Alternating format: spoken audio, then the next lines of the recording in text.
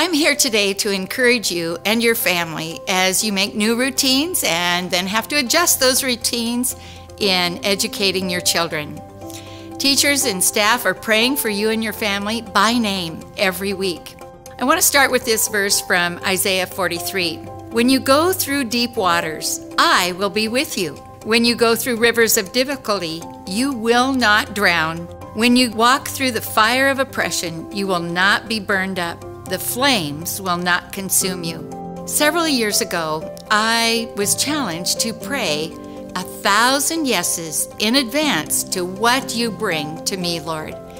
And so then I started praying, and I had to remember it wasn't based on what I thought I could do, it was all based on who He is. Who is He? He is all loving, all compassionate, always good. He is strong. He's a giver of wisdom and generous. He's the Savior, forgiving, full of mercy, and so much more.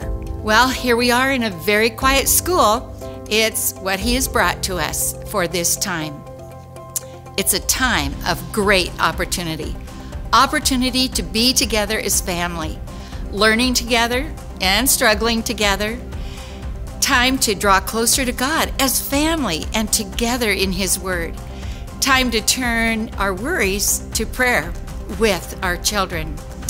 A few weeks ago in my Sunday class, someone shared this quote The teacher is silent during the test.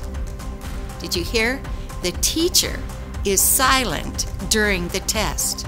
Why, you ask? Because the teacher has already given everything needed for the test.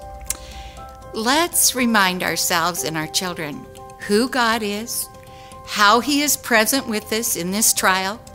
Look for those promises in His Word and trust them through this test, through this time. We have the best book and we have the best teacher right in our homes with us. Be encouraged today. Thanks so much for all you're doing.